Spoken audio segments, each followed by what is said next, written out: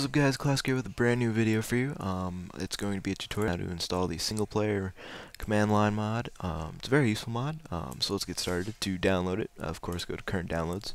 These are all for previous clients of Minecraft, but you're going to want to go to 1.3 underscore 01.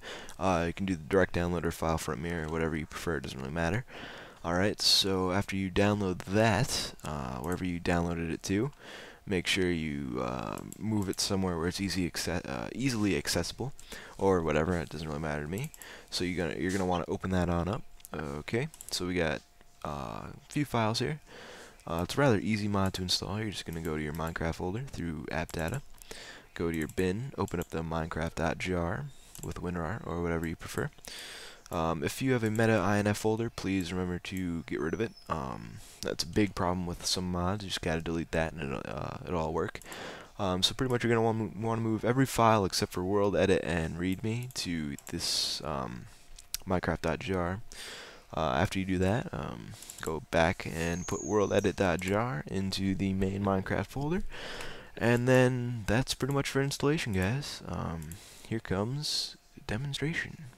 Alright guys, as far as using this mod goes, it's fairly simple to use. Uh, pardon the lag, it's just generating a new world. Um, I pretty much started a new one, uh, just to show you guys this um, mod. So pretty much if you want to like go and fly around and such, what you do is, uh, hang on, let me just turn this on to peaceful so that skeleton doesn't bother us while we show this.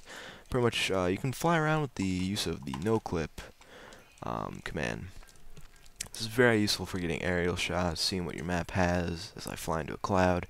Uh, so yeah, as you can see, this uh, generator um, actually gave me a pretty cool seed for the word hamburgers. uh, so yeah, let's keep on going over here and see what's going on with this map. Uh, is that a completely detached floating island? Oh, that's that's crazy. Come on. So yeah, I might actually keep this world. Um, also, uh, with this you can do slash time night, turn it to night, or slash time day. Uh, you can use slash item uh, 12, 2, and it drops the item and you can go pick that up if you'd like. Um, so yeah, that's pretty much using this mod. Uh, there's a bunch of other commands too. Those are pretty much the ones I find the most useful. Um, so thanks for watching guys. If you want to see more tutorials, and oh my god, this is just crazy. Oh, there's no way. Look at this. Uh, oh, th this is just too nice. This is just too nice of a world.